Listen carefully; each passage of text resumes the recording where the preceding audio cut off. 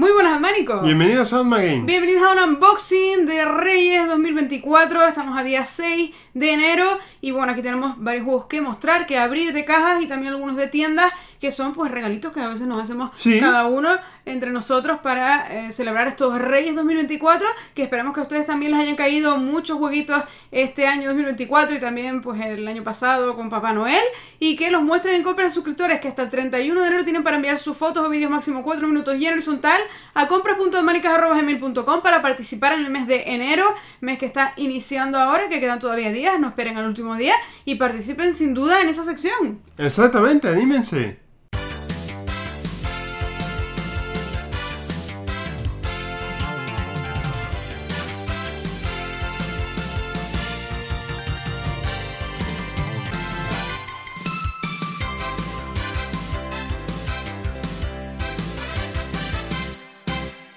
Pues vamos allá a abrir rápidamente cajas porque lo que nos interesa de estos juegos es no solo canjear los puntos porque son de Nintendo Switch, canjear los puntos de My Nintendo, sino también jugarlos y traer gameplays al canal para que los vean con nosotros y los conozcan, que es como se conocen los juegos, con gameplay. Siempre Sí. lo decimos y siempre lo diremos. Aquí tenemos una saga, eh, un juego de una saga larguísima que tiene un montón de títulos. Sí, sí, es verdad. Hemos traído varios de ellos en game, en unboxing. Es que- sí, en unboxing trajimos uno gameplay en gameplay. uno solamente, Sí. pero- Bueno, y un directo de otro. Sí. Es verdad.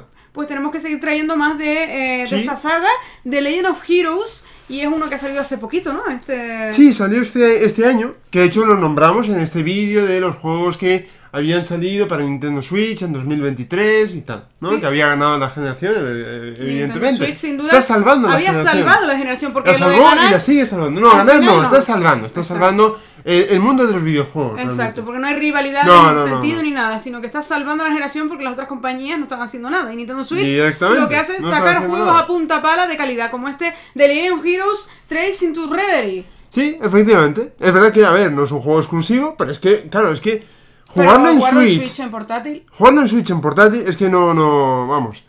Ahí, ahí sí que no tiene rival, ¿no? Y bueno, es, es una, es una entrega eh, chulísima, no nos queremos alargar mucho, de Nice América y tal, desarrollada por Falcom, y, y es un poco como la conclusión, un poco como eh, donde se juntan diferentes arcos. O sea, creo que era el arco de, de ah, Crossbell, ¿vale? Que es de Trails eh, to Azul, eh, Trails from Zero.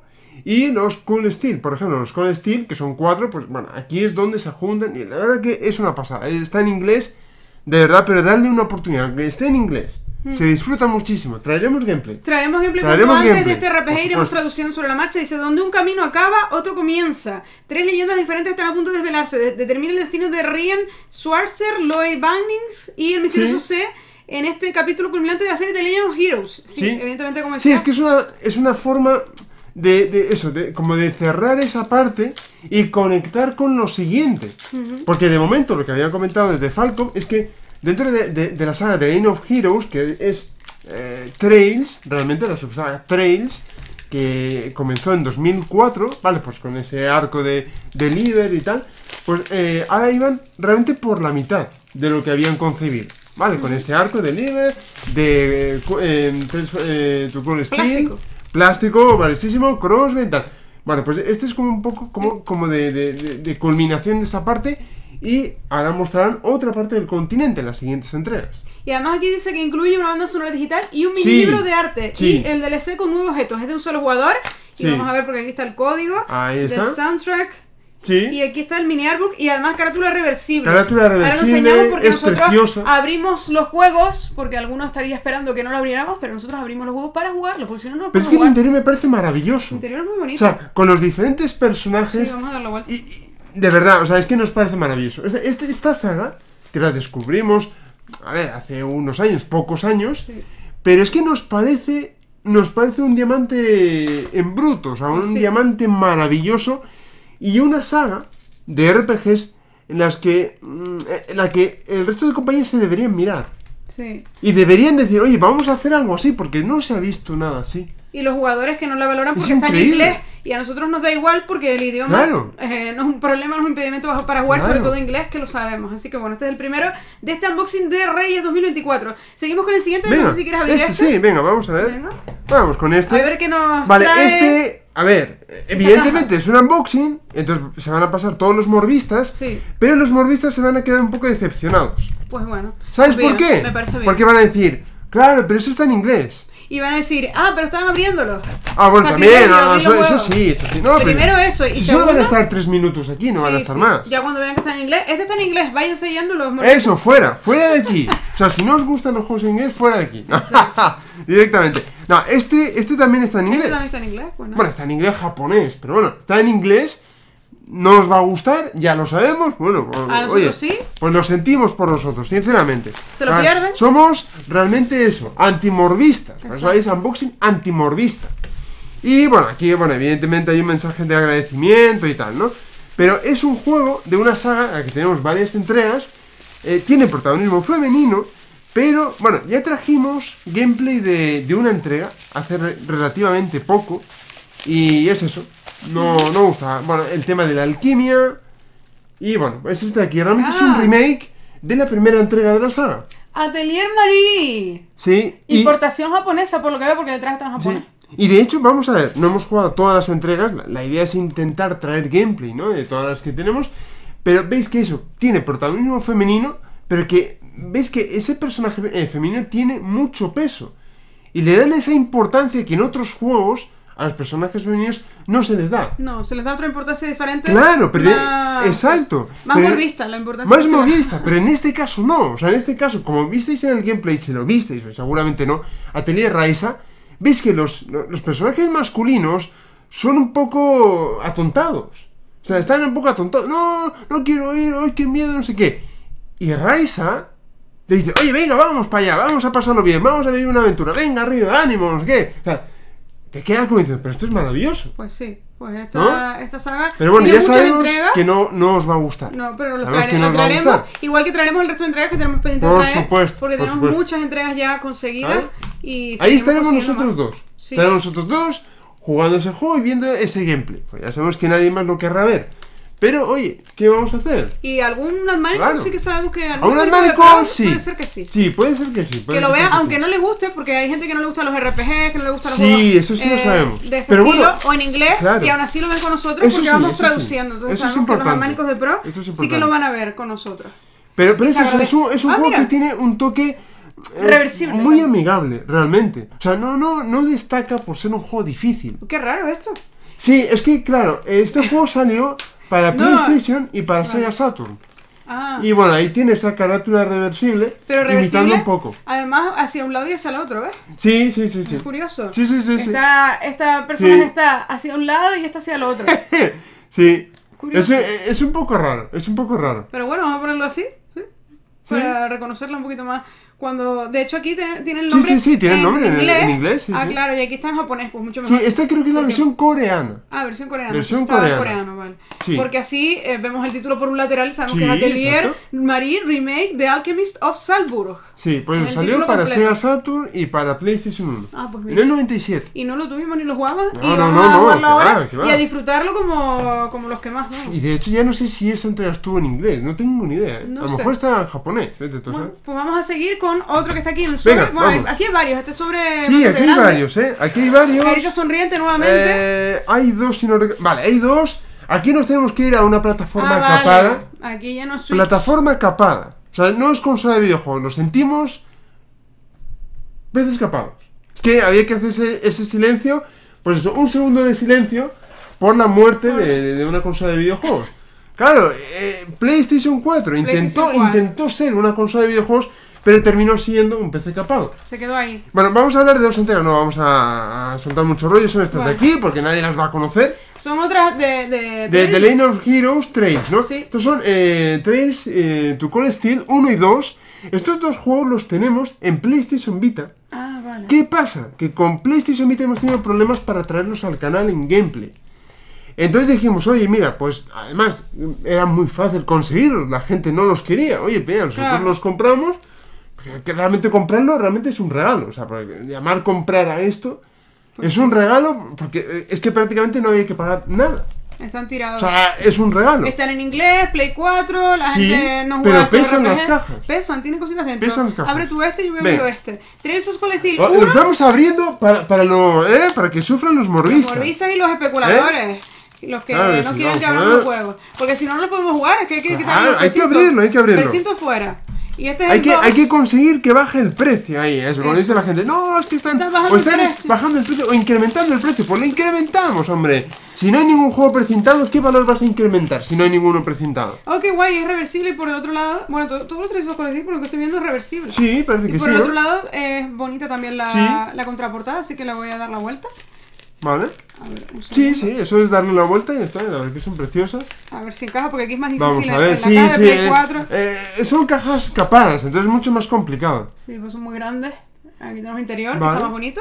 Sí, y ¿Y esta- este? este es el, el primero realmente. Sí, que tiene Esta también cositas entrega. que yo ahora la Sí. enseño, porque aquí tiene el 2 también. Sí, pues eso tendrá un, un pequeño manual. A ver, este es el primero. Voy a dar la que vuelta. ¿no? tiene- También ahí. Sí, dale la vuelta. Es, bueno, un. Oye, pequeño manual. No es pequeño manual. O sea, tiene 49 hojas. Pero es que dentro de estas 49 hojas hay un pequeño cómic. Un pequeño cómic que te cuenta eh, la historia. O sea, Sufriendo. historia sobre, sobre eso. Yo estoy sufriendo, estoy sufriendo. No, no, yo estoy sufriendo poniendo la carátula. Ah, da igual, PC capado, eso que, Que da no igual, hombre. Lo importante, lo importante es tener el disco y poder traer Este es gameplay. el uno. Y ya está. Esto, mira, oye. Vamos a enseñar, bueno, primero vamos a que, enseñar que sufran lo- los especuladores. manual Nosotros no 1. sufrimos. Bastante grande, bastante tocho. Sí, Aquí un par de páginas. exactamente. No, es una, es una pasada. Y manual del pasada. 2 también. Exacto. Qué bueno. Hombre, pues la, la verdad es que está bastante bien. Y Es bueno, que- traeremos gameplay. ¿eh? Eso es una amenaza que traeremos gameplay. Sí. Porque, a pesar ¿verdad? de que sean eh, PC escapados como Play 4, que es raro que vengan con manual, en este caso sí, Sí. porque claro, como, como son juegos que nadie apoya. Claro, pues- claro, por eso, Y por eso. pasa con los indies también, que son juegos Por que nadie apoya y luego tienen manual, a- tienen a, detalles. Falcom. Falcom hace maravillas. Square, a Square se le aplaude, se le alaba, se le hace cualquier cosa, pero luego seguro que tú abres eh, la caja de Final Fantasy XVI, eh, cualquier... se- Oye, que no hay manual. No, que va a haber manual. Eh, Exacto. Manual ni manual. Claro que no. Así que bueno.